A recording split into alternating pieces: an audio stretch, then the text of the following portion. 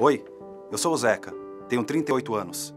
E há 15 eu faço um mutirão de arrecadação de cestas básicas para pessoas carentes. Na pandemia, o desafio foi ainda maior, mas nada me fez parar.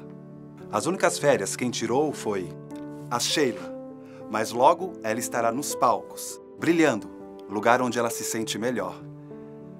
E se depois de conhecer a Sheila, a minha história vale menos para você, repense as suas atitudes.